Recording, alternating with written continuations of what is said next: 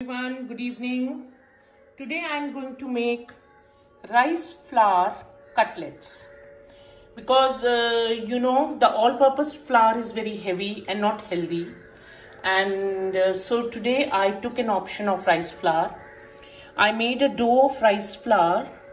I put some sesame black seed black sesame seeds and uh, mustard seeds and uh, uh, in the oil not in the oil exactly but in the desi ghee or half spoon of desi ghee and then put half uh, to three-fourth glass of water and made a dough in a hot wok and just closed it down.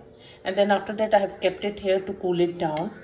And here I have made a mixture of uh, different vegetables carrot onion uh, spinach and uh, cabbage and capsicum and I have chopped in the chopper. This is uh, coriander leaves. Now what I'm going to do, you see, I'm just going to make a mixture for my cutlets. Now you see that. This is uh, half like this, like a cutlet.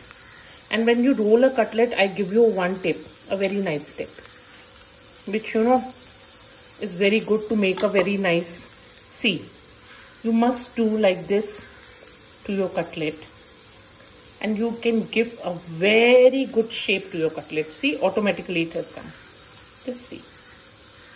So now my vegetables are almost ready crunchy also. And now i'm going to add mashed potatoes in it and uh, fill in it fill in it and just make a uh, cheese ball kind of thing like this and put it in the air fryer.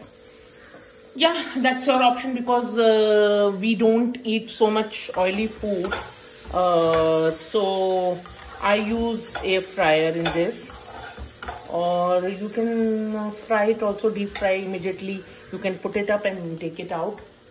So there are two healthy options.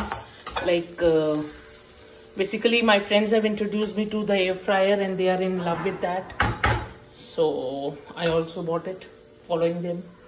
And uh, so let's see how it comes. I'll send you the pics. Thank you. Bye